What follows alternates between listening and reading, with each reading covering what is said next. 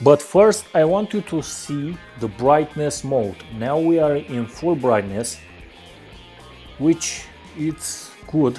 And let's see the brightness. The brightness or the lamp mode. This is the lamp mode. This is in normal, as you see. This is in eco and we already are hearing the fans.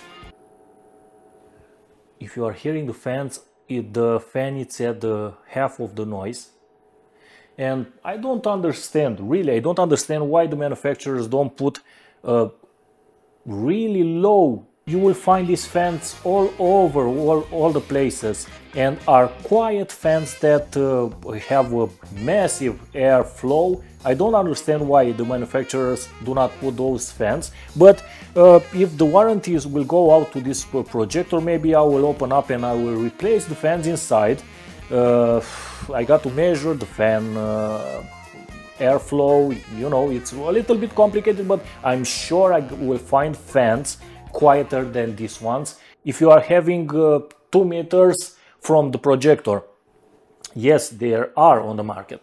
Okay, the eco, the dynamic eco, sorry, let's put it back, the dynamic eco, but accelerate the fans and it's like normal but the if the dynamic eco somehow rises the uh, your lamp life well I choose every time the dynamic eco. And the manufacturer tells us that the dynamic eco reduces light source power consumption but by up to 65 depending on your content brightness level which is interesting and I think uh, I will leave it to the dynamic eco. Uh, I think the projector will see how uh, it will distribute the light uh, depending on your, your, playable content and uh, if you want the full light put it to normal. The Eco reduces light source power consumption by 30% and lowers the brightness to exceed the light source life and decrease the fan noise like I told you before. The Super Eco Plus reduces the light source power consumption by 60% and lowers the brightness to extend the light source life and decreases the fan noise. Okay, so let's see the fan noise. at the Super Eco Plus. Whoa.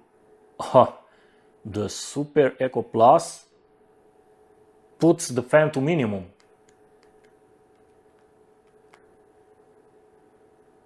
The eco rises a little bit the fans. I don't know if it, it rises the the light. Yes, a little bit it rises also the light, I can see with my eye.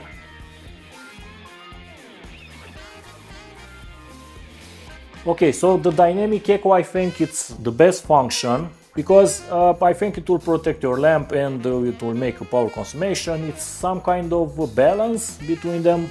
Now I got to tell you the light it's perfect. The light it's awesome. You don't need more light than this.